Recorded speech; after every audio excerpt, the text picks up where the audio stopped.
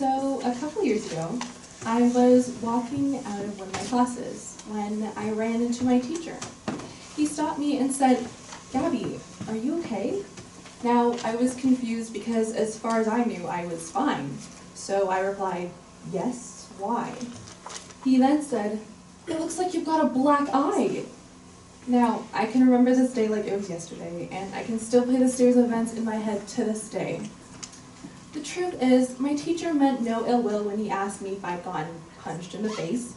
He just didn't know that that was my birthmark that he was referring to, not a black eye. Now, growing up as a child, I was very introverted, and I believe that my birthmark was the source of most of my insecurities. When I was preteen, I would oftentimes dress in darker colors as to not draw too much attention to myself, and as I got older, I began to experiment with makeup. Now, it was all great for a while, until it suddenly became a mask, which I hid beneath. When I was with family, I felt the most comfortable. However, when I was out with strangers, that is when my insecurities came. I started to deprive myself of opportunities for fear of what people think of, would think of me. My birthmark was not just a thought anymore, it had become an obsession. Now, I've always been interested in birthmarks, but I've never really known why some people have them and why others don't. A fact is that everyone here is born with marks on their bodies, some different sizes and some located in different places. One of the main types of birthmarks are called vascular birthmarks, and they occur when blood vessels do not form properly in the skin. Another type is the type that I have, which is a pigmented birthmark. This occurs when there's a cell overgrowth in a certain area. Now, taking a break from the science side, let's look a little bit into the mythical side. It is said that birthmarks can determine how someone died in a past life. Now, people with no birthmarks are said to have died of natural causes. However, if you ask me, that's a little bit boring.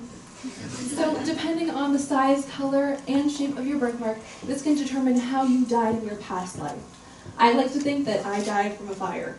Speaking of fires, when I was in the fifth grade, my friends would come up to me and they would say, Gabby, what happened? Did you get that from a fire? And I would say, I had to go back to save the baby. Oh. Now, 10-year-old me would never run back into a burning house for a baby.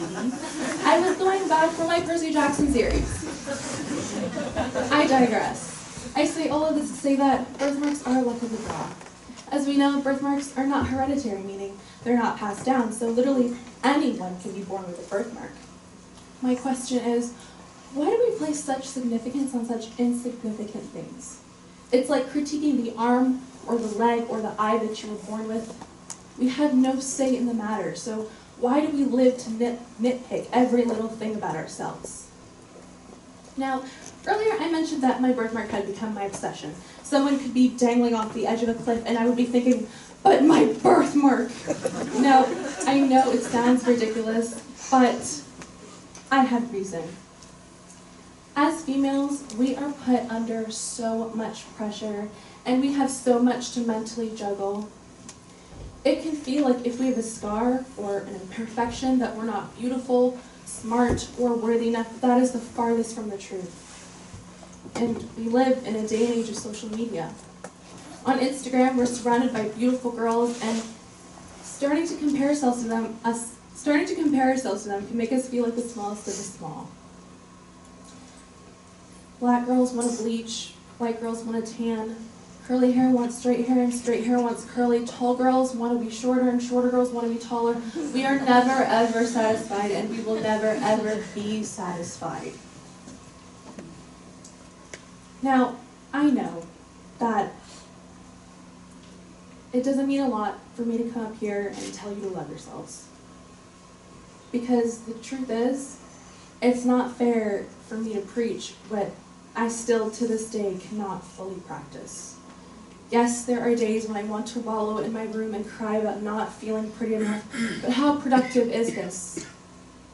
I challenge not just girls, but guys to count on all fingers all the things that you find beautiful about yourself. I remember when I was younger, I used to keep a jar, and in that jar I'd write down all the compliments I received. Now, these compliments, they don't have to be physical. They could be things like, you're an amazing artist, or you've got a beautiful voice, or you're an amazing hockey player, you can make it to the NHL one day. Because once we start to take the attention off of physical beauty and we start to commend ourselves on our actions, talents, and character, that is when we'll find true beauty. Now, my birthmark and I, we've come a long way. And I can proudly stand in the mirror and say, Gabby, you are only single because you want to be single.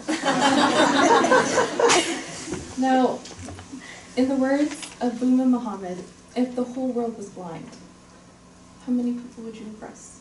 Thank you.